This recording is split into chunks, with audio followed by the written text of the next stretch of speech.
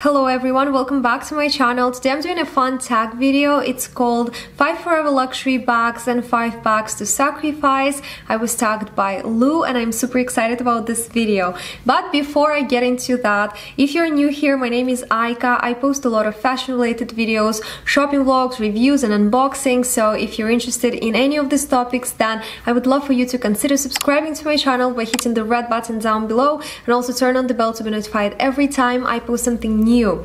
And you can also follow me on Instagram. It's at Bonjour Aika. I post there daily, all of my outfits, my eye candies, my daily life. And you can also send me a DM. I would love to have a chat with you. And now let's get right into the video. Usually in these types of videos, the most terrifying part is to choose the bags that you would sacrifice, the bags that you would sell. In my case, it was actually the opposite. It was so easy to choose those bags, but it was so hard to come up with the ones I would keep forever. And I know it sounds funny. Looking back at my older videos, I was so opposite to what I am right now. And this is probably all due to the pandemic and the lockdowns and everything that's been just going on. I spent most of last year and even this year at home, not going anywhere and therefore not really using my bags and it gave me a lot of time to think and reconsider my entire collection and I realized that I'm just not happy with it anymore. And now I want to sell the majority of my bags and get myself new ones as a fresh start. I want to get something that would make me excited again. I want to get the bags that I would actually love and use every single day because right now it's really not the case with all of my bags that I have, pretty much all of them. So I'm talking for way too long. Let's start with the ones that I would keep forever.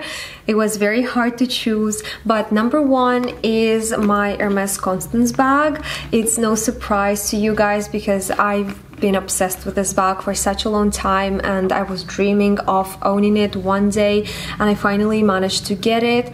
It was last year in March before lockdown was it? I think yes, last year in March. So it's not even a full year just yet.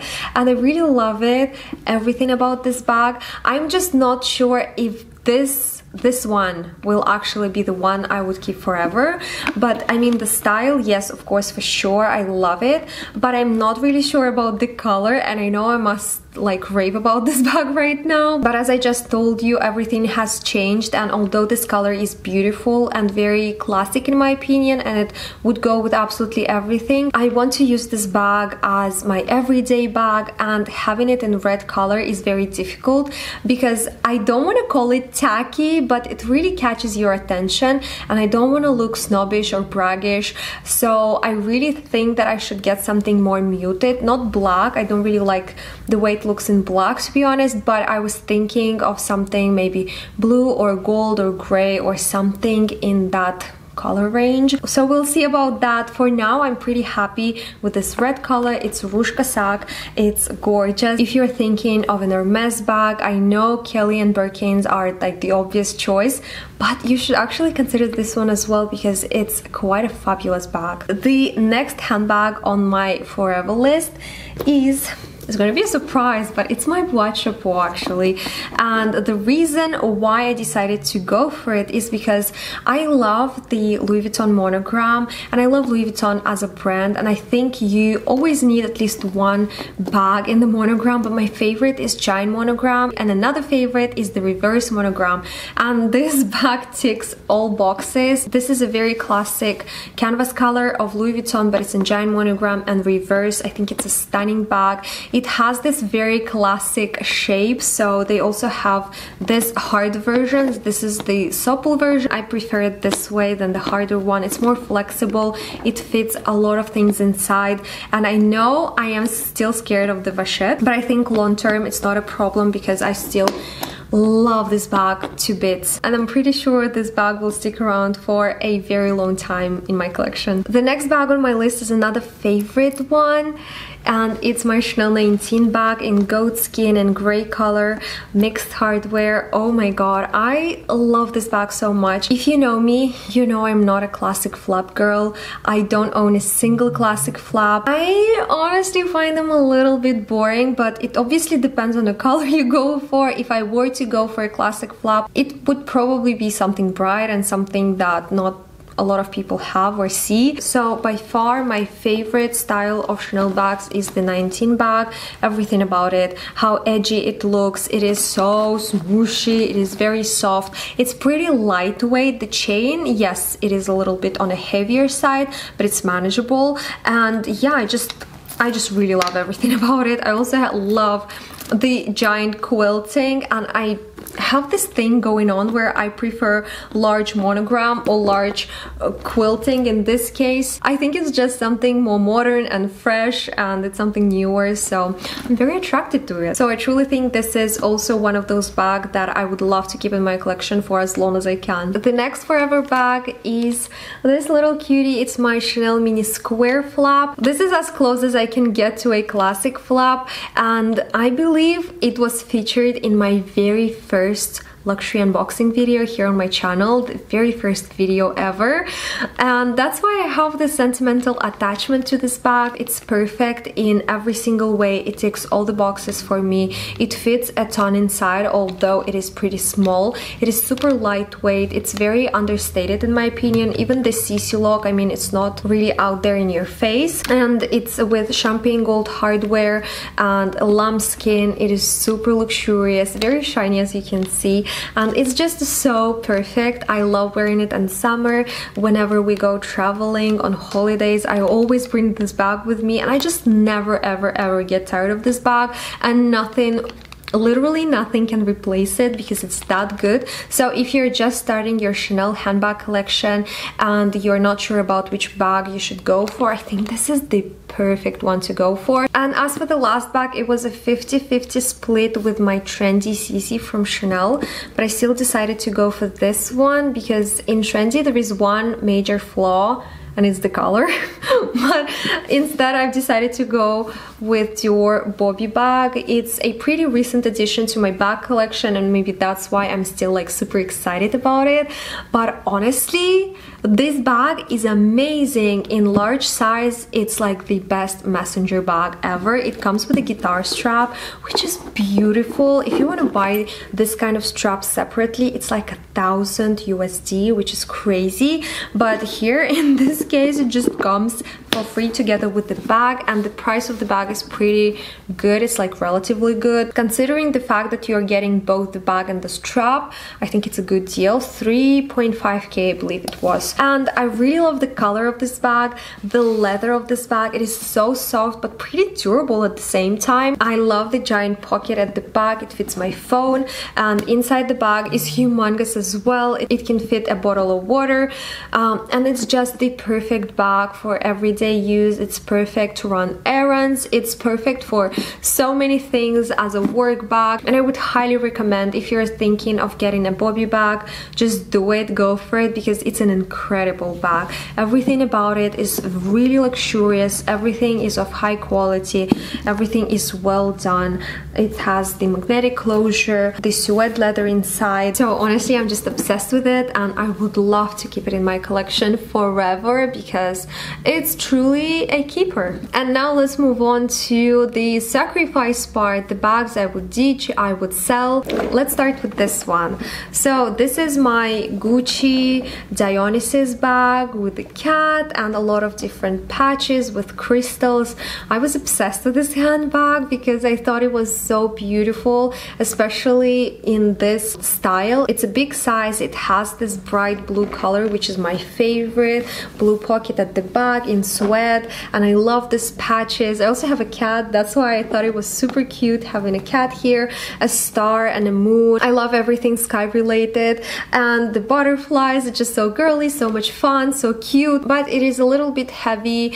It's a little bit too big for what I like and usually go for. I prefer smaller bags and I think this is the only flaw this bag has.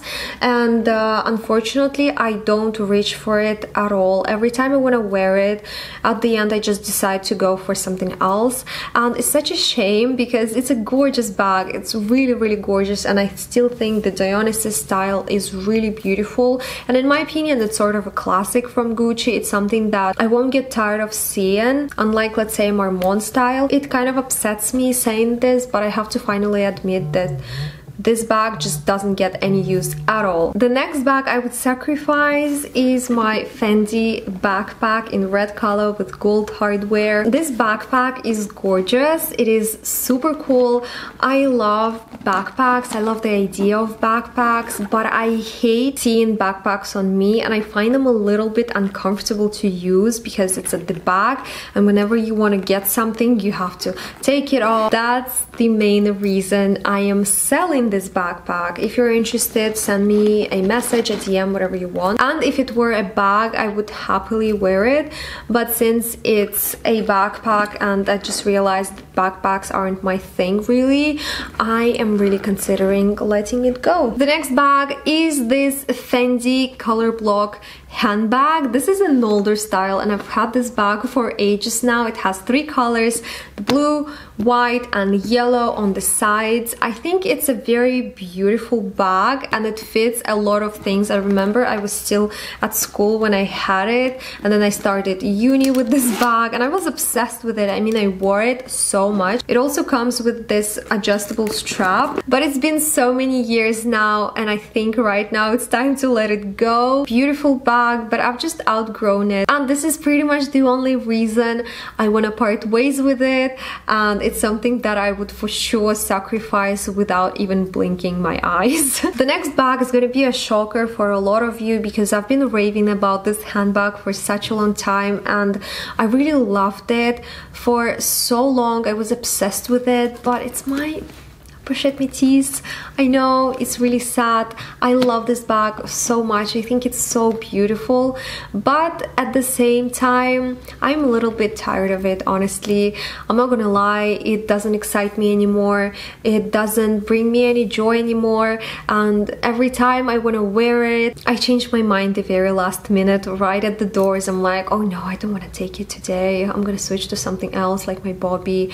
So I think it means that it's time to just let it go and there are a few people who are interested. If you guys are interested, you can also send me a DM on my Instagram. I think it's easier than sending an email, but it's really up to you. You can send me an email, whatever you want. Another reason why I'm like 100% sure I want to sell it is because I'm really interested in the Dauphine bag and it's also reverse monogram. It's a very similar style. So I really won't be needing two very similar bags in my collection and I think it's time. We had good times together, amazing memories, but I have a lot of photos of this bag, so it's okay. And the last bag on this list is another shocker for you guys because it's a pretty fresh bag to my collection and I was also obsessed with it and raving about it. This bag made it to my favorite bags list. Unfortunately, it's not the case anymore and it's my 30 Montaigne. I know.